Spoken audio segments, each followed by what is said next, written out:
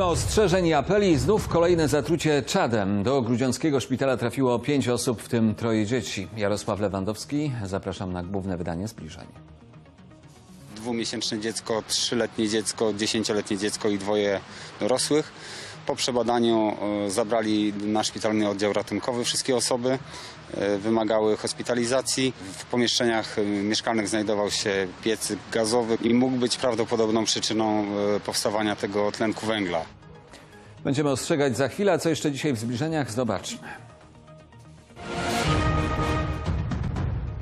Dotacje na walkę ze smogiem i pożyczki na ochronę środowiska. Program Ekopiec jest na skalę e, Polski takim e, programem e, nowym, innowacyjnym. Do samorządów może trafić ponad 37 milionów złotych. Trzeba by było to tempo zwiększyć, wymiany pieców.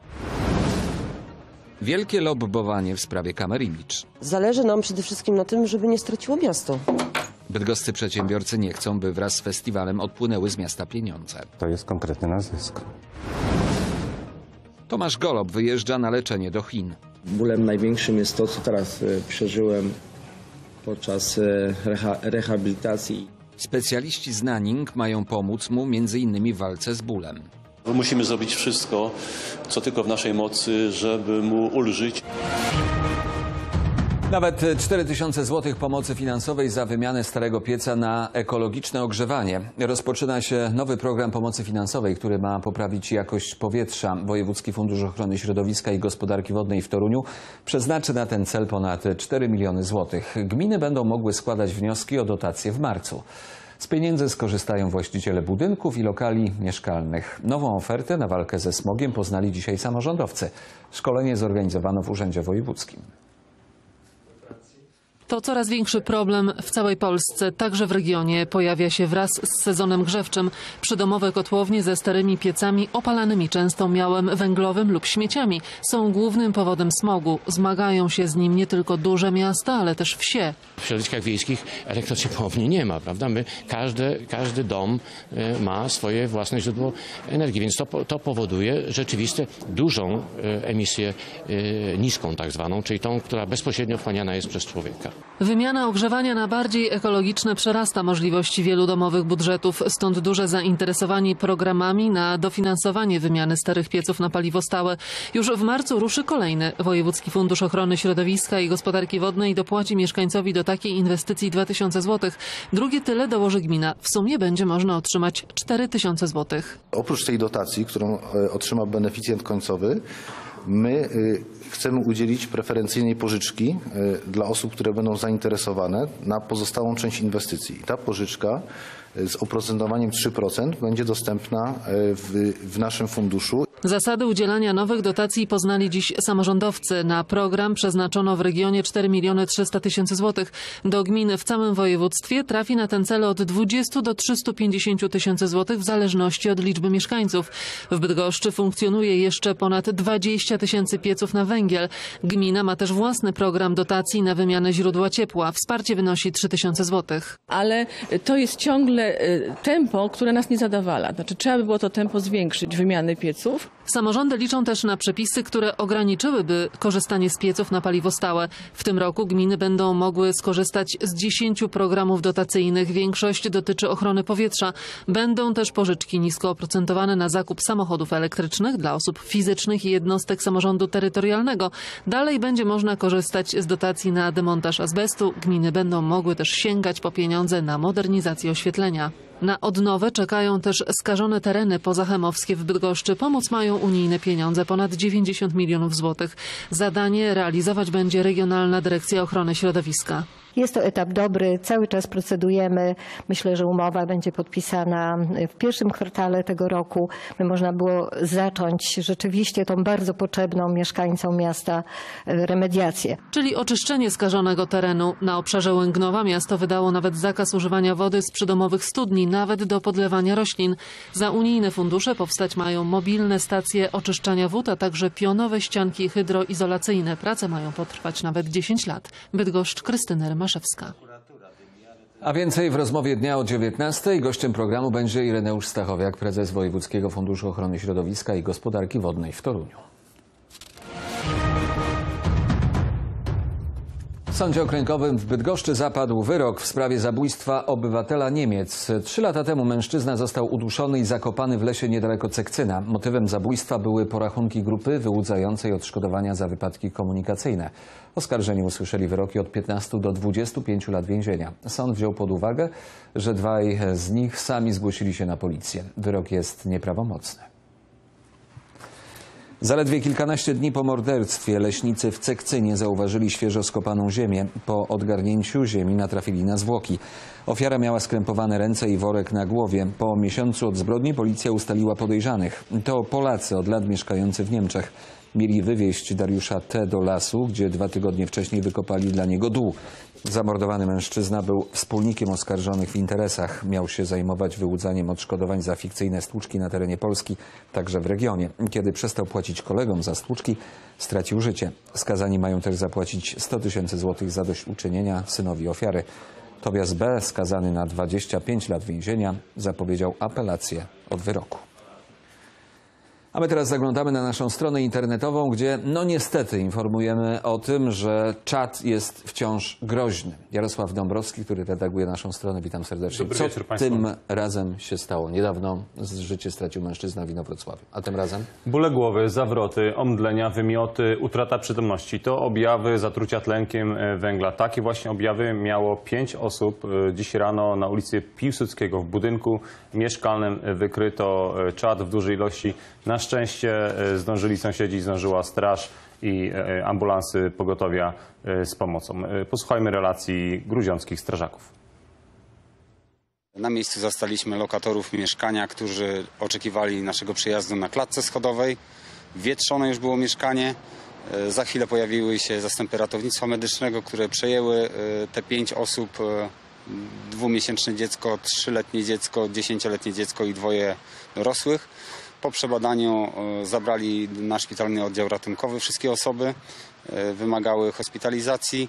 Natomiast my sprawdziliśmy, że w pomieszczeniach e, mieszkalnych znajdował się piec gazowy, który służył do ogrzewania ciepłej wody i centralnego ogrzewania i mógł być prawdopodobną przyczyną powstawania tego tlenku węgla.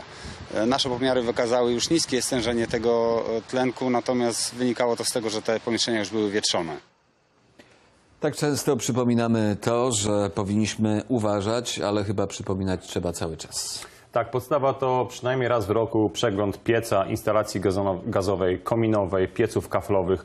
Do tego, proszę Państwa, prosimy nie zamykać kratek wentyla- wentylacyjnych. Mieć otwarte, lekko uchylone okno, by był dopływ świeżego powietrza. To na pewno zapewni bezpieczeństwo. No i czujka, czujka czadu. Warto kupić za 50 do 100 zł taką czujkę, która ostrzeże przeciągłym y, sygnałem o tym, że w powietrzu znajduje się niebezpieczna zawartość tlenku węgla. Te inne informacje na naszej stronie internetowej www.bydgoszcz.tvp.pl. Proszę nas szukać również na Facebooku i na Twitterze. Bydgoscy przedsiębiorcy piszą listy do prezydenta miasta, by przemyślał decyzję dotyczącą zmniejszenia dofinansowania dla festiwalu Kamerimicz. Władze Bydgoszczy podjęły takie kroki po tym, jak pod koniec roku dyrektor festiwalu podpisał list intencyjny w sprawie budowy w Toruniu Centrum Kongresowego Kamerimicz. To może oznaczać przeniesienie za kilka lat festiwalu do Grodu Kopernika. Zdaniem bydgoskich przedsiębiorców zmniejszenie dotacji może doprowadzić do tego, że już w tym roku festiwal w Bydgoszczy się nie odbędzie, a przez to odpłynie z miasta spory strumień pieniędzy. Wymarzona siedziba festiwalu Kamerimicz za kilka lat to jedno, pytanie gdzie odbędzie się festiwal za dosłownie kilka miesięcy to drugie. Czas mija, a na pytanie nadal nie ma odpowiedzi. w związku z nowymi okolicznościami. Prezydent Bydgoszczy Rafał Bruski jeszcze w grudniu złożył Fundacji Tumult ofertę w reakcji na podpisanie nieoczekiwanego listu intencyjnego w sprawie budowy Centrum Kongresowego Kamerimicz w Toruniu. W budżecie Bydgoszczy zapewnił na organizację imprezy 500 tysięcy złotych, pięć razy mniej niż w ubiegłych latach. Jaka jest możliwość jednak zatrzymania u nas tego festiwalu? Zdaniem części bydgoskich przedsiębiorców tę decyzję należy przemyśleć jeszcze raz. Apel do prezydenta Bydgoszczy skierowali m.in. bydgoscy hotelarze.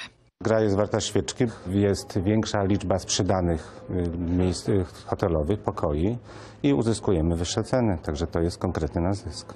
Głos w sprawie zabrał także prezes portu lotniczego w Bydgoszczy. Warto przypomnieć, że większość zagranicznych festiwalowych gości korzysta właśnie z połączeń bydgoskiego lotniska. Gdy odbywa się festiwal, pamiętajmy, że jest to turystycznie sezon e, bardziej martwy. Przez e, ten tydzień przez port lotniczy Bydgoszcz e, przewija się naprawdę bardzo dużo pasażerów. Podobnego zdania są przedstawiciele Wyższej Szkoły Gospodarki. Uczelnia od 8 lat bierze czynny udział w organizacji wydarzenia. Zależy nam przede wszystkim na tym, żeby nie straciło miasto.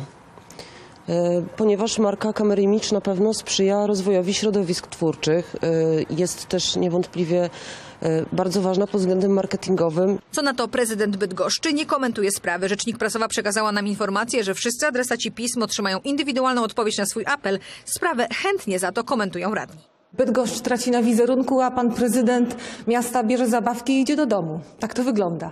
Uważam, że dla dobra Bydgoszczy pan prezydent powinien przystąpić jeszcze raz do negocjacji. Ruch przede wszystkim jest po stronie ministra Glińskiego, który decyduje o tym, na co trafiają y, pieniądze. Mam nadzieję, że zostanie podjęta decyzja, że pieniądze jednak trafią y, do Bydgoszczy na budowę czwartego kręgu.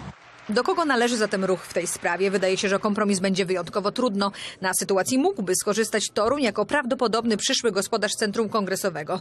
Prezydent Michał Zaleski nadal jednak nie potwierdza możliwości organizacji festiwalu w Toruniu jeszcze w tym roku. My nie pracujemy nad zadaniami dotyczącymi tego roku. Budżet miasta Torunia na rok 2018 jest ustalony. Y, W nim są różne pozycje, także festiwalowe, ale nie ten festiwal.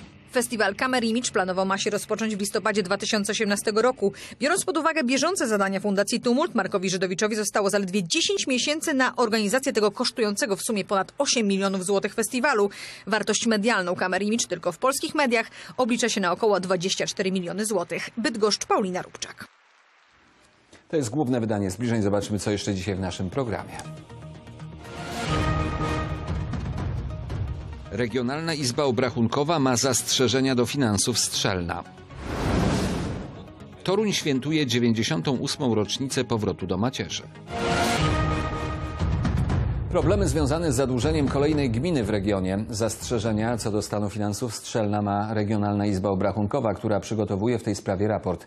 A chodzi o wieloletnią prognozę finansową samorządu. Kontrolerzy zwracają uwagę na zadłużanie się gminy w instytucjach finansowych i zagrożenie związane z brakiem płynności.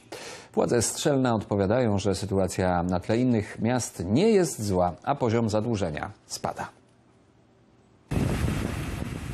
Pożar w części mieszkalnej budynku przy ulicy Gimnazjalnej w Strzelnie wybuchł pod koniec 2016 roku. Dach nad głową straciło 14 osób. Pół miliona na odbudowę budynku znalazło się w budżecie dopiero na ten rok. W Strzelnie w ostatnich latach były dwa duże pożary. To 21 zniszczonych mieszkań komunalnych. Gdy potrzebne są natychmiast dodatkowe środki, władze na przykład przesuwają inne zobowiązania. Są inne zdarzenia, które jesteśmy w stanie przewidzieć. Dlatego niekiedy się sytuacja jest, że niekiedy nie mamy tej płynności finansowej. No po prostu nie zapłacimy jednej faktury w terminie, tak nie płacimy w terminie danej faktury, zapłacimy ją później. Albo korzystaliśmy z subrogacji. Czyli zadłużenie miasta przejmuje instytucja finansowa, która je spłaca, a miasto taki dług reguluje w późniejszym terminie. Mamy y, taką sytuację, jaką mamy. Mamy powiat, prawda? Wszystkie pieniążki powiat, a tu zero. No taka jest sytuacja, proszę pani. A, a które miasto nie jest zadłużone? Inne miasta tak samo są w długach. Taki sposób ratowania budżetu mniej przychylnie ocenia Regionalna Izba Obrachunkowa. W rozmowie dnia na antenie TVP3 Bydgoszcz prezes Rio podkreślał, że Strzelno jest kolejną gminą, która ma problemy finansowe. Jest to e, miasto, które właśnie z takich różnych form niestandardowych korzystało tego zadłużenia. Nasza kontrola to wykazała. e, Pomimo naszych wezwań do ujawnienia w sprawozdawczości, w danych finansowych e, tego zadłużenia, nie zostało to wykonane. Bo umowy w ramach subrogacji powinny według kontrolerów być ujęte w zadłużeniu. Władze Strzelna się z tym nie zgadzają. Ten zapis, na który oni się powołują, uważam, że dla nas jest nie do przyjęcia. My mamy odmienne zdania od tej sytuacji. Czekamy jutro na rozstrzygnięcie kolegium, bo zamierzamy się po prostu odwołać do, do instancji, do, do sądu, bo myślę, że taką możliwość po prostu będziemy mieli. Te zastrzeżenia zawsze budzą pewne obawy. No, nie jest dobrą sytuacją, kiedy brakuje nam płynności y, finansowej. Władze Strzelna dodają, że dług każdego roku maleje. Według urzędników zadłużenie gminy wynosi obecnie około 7 milionów złotych. W piątek Kolegium Regionalnej Izby Obrachunkowej podjęło decyzję o przygotowaniu raportu o stanie finansów miasta. Sprawdzona będzie wieloletnia prognoza finansowa. Strzelno, Katarzyna Romanowska. Związki zawodowe Solino oraz Gaz System chcą działać wspólnie. O tym, że pracownicy zakładów regularnie się spotykają i podejmują pierwsze wspólne decyzje, poinformowali podczas konferencji prasowej. To efekt decyzji rządu. Nowym właścicielem inowrocławskiej kopalni soli będzie Gaz System, czyli jedna ze spółek PGNiG. Ma ona przejąć aktywa od PKN Orlen do końca roku. To y, połączenie naturalne, więc y, takie bardzo specjalistyczne. PKN Orlen ma się zajmować y, produkcją paliw. W sposób naturalny Solino przeszłoby pod system, gaz system spółki, która zajmuje się działalnością magazynową i to daje gwarancję, że te spółki się będą prawidłowo ro- rozwijać. Nie czekamy jakby na to, co stanie się między zarządami i spotkaniem i oczywiście nie chcemy wchodzić jakby w zarządzanie, ale też rzeczy z pracowniczy już przygotować, żeby na spokojnie to połączenie było, że tak powiem, przyjazne. Nie spotykamy się po to, żeby się straszyć, ale żeby się poznać, włączyć się do pewnego zdrowego dialogu i nowoczesnego działania Związku Zawodowego Solidarność w Polsce. 11 listopada 1918 roku to w historii kraju jedna z najważniejszych dat. To wtedy Rada Regencyjna przekazała Józefowi Piłsudskiemu naczelne dowództwo nad wojskiem. Odzyskanie niepodległości w naszym regionie trwało dłużej. Toruń dołączył do macierzy w 1920 roku. Dworzec Toruń Miasto to tu w styczniu 1920 roku byli witani polscy żołnierze. Niemcy opuszczali miasto po blisko 130 latach. Wymiana wojsk na Pomorzu trwała trzy tygodnie, a wszystko odbywało się kolejami. Pomorze przyznane Polsce na mocy ustaleń traktatu wersalskiego decyzją Józefa Piłsudskiego za zadanie miał odzyskać Józef Haller. Tak jak 98 lat temu, tak i dziś w mieście pojawili się polscy żołnierze. Akt przekazania kluczy do miasta odbył się w ratuszu staromiejskim. Wywieszono polskie flagi narodowe, a zgromadzeni na rynku Torunianie odśpiewali hymn narodowy. Przywołujemy tamtą chwilę, by wolność Polski pokazać jako tą, którą cenimy w Toruniu, tak samo jak pokolenia, które zabiegały o nią w czasach zaborów. 21 stycznia 1920 roku do Torunia przyjechał dowódca frontu pomorskiego generał Józef Haller. To dla miasta szczególnie ważna postać. Możemy śmiało, nie popadając w samozadowolenie, powiedzieć, że z tego dziedzictwa, które otrzymaliśmy, robimy dobry użytek. Jako pierwsza wkroczyła idąca od strony Inowrocławia dywizja pomorska dowodzona przez generała Stanisława Skrzyńskiego. Jego wnuk od wielu lat bierze udział w rocznicowych uroczystościach. Obowiązkowo i z radością i z dumą muszę przyznać, dlatego że to jest jedna z bardziej spektakularnych e, chwil e, była, jedna z bardziej spektakularnych chwil w życiu mojego dziadka. Z okazji rocznicy Toruńska Fundacja Muzeum Historyczno-Wojskowe przygotowała wystawę militariów i eksponatów z epoki. Ostatnie momenty są, żeby ratować te rzeczy przed zniszczeniem, zapomnieniem. I najważniejsze, co młodzi ludzie to robią. Dokładnie w pierwszą rocznicę wkroczenia polskich wojsk do miasta generał Józef Haller odebrał tytuł honorowego obywatela miasta. Każdego roku przed pomnikiem generała składane są kwiaty. Wiązanki pojawiły się także przed pomnikami upamiętniającymi doktora Ottona Steinborna, pierwszego komisarycznego prezydenta Torunia oraz Stefana Łaszewskiego, który piastował stanowisko pierwszego w historii II RP wojewody pomorskiego z siedzibą w Toruniu.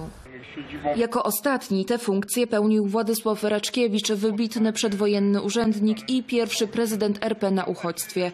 I to właśnie jego imię od dziś nosić będzie trasa średnicowa północna.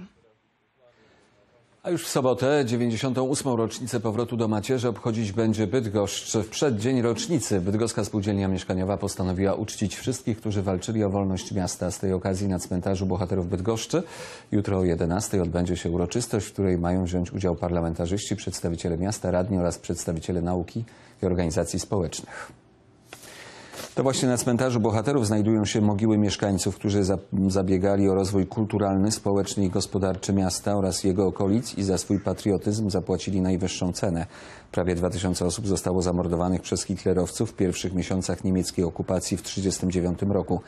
Na cmentarzu znajduje się m.in. symboliczny grób ostatniego prezydenta Bydgoszczy Leona Barciszewskiego, rozstrzelanego przez Niemców oraz prochy zamordowanych przedstawicieli inteligencji, urzędników, nauczycieli, policjantów, harcerzy oraz mieszkańców Tryszczyna.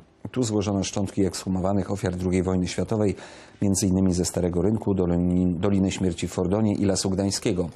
Jutro w miejscu pamięci podczas uroczystości z udziałem parlamentarzystów, przedstawicieli władz miasta oraz przedstawicieli nauki i organizacji społecznych zostaną złożone kwiaty.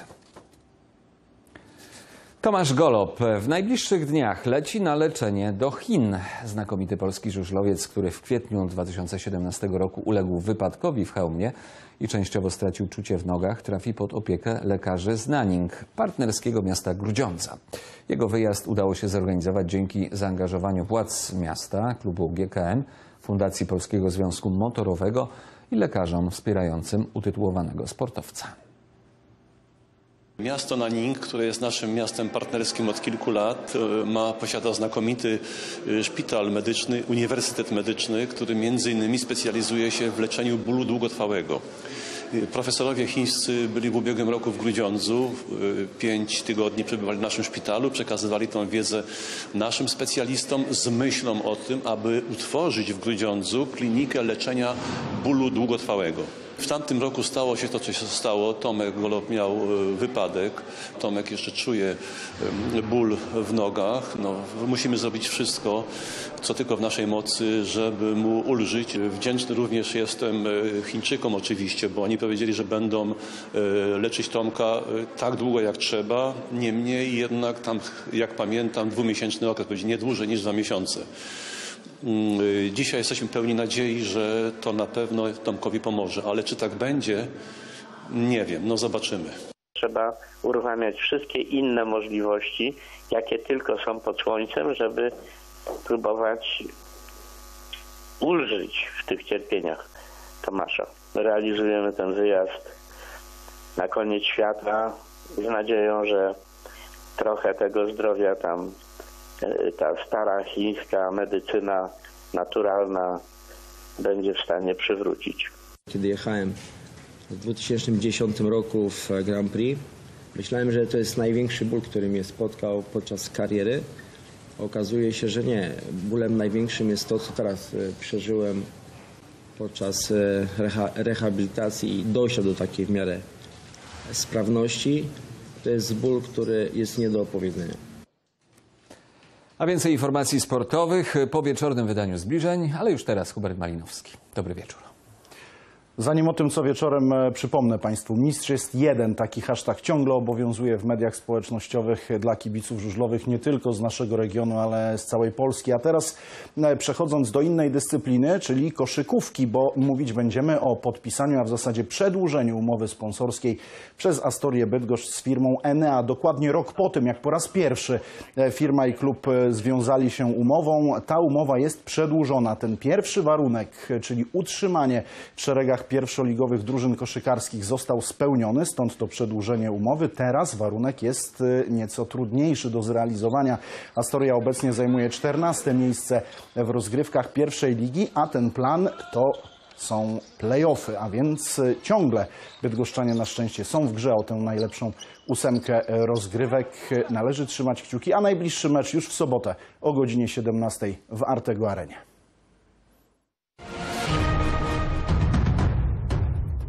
A teraz zapowiedź niebezpiecznych zjawisk. Magda Żakowska. Dobry wieczór. Dobry wieczór. W dzisiejszej prognozie głównie ostrzegamy. Otóż na Kujawy i Pomorze właśnie dociera orkan, który u naszych zachodnich sąsiadów osiągał prędkość 180 km na godzinę i pozbawił 100 tysięcy domów e, prądu. W najbliższych godzinach wiać będzie silnie, nawet porywiście, a tym porywom wiatru będzie towarzyszył śnieg, który też padać może intensywnie. Jedyne, co może nas pocieszyć, to to, że znajdujemy się prawie na trasie wędrówki głębokiego niżu, który przynosi tą zmienną pogodę, a im bliżej centrum niżu, tym wieje nieco słabiej. W dodatku orkan już trochę wytracił tej swojej niszczycielskiej siły. Zatem najsilniej w nocy wiać będzie w regionach południowych i południowo-zachodnich. W drugiej części nocy opady śniegu zaczną stopniowo zanikać, a jutro wiatr wreszcie osłabnie. Jeszcze w uzupełnieniu tej prognozy pogody e, zaproszenie na jutrzejszy program Akcja Innowacja, w nim o innowacyjnych metodach zapobiegania i usuwania skutków klęsk żywiołowych i katastrof naturalnych. Program o 17.35 jutro. My spotkamy się ponownie o 21.30. Do zobaczenia.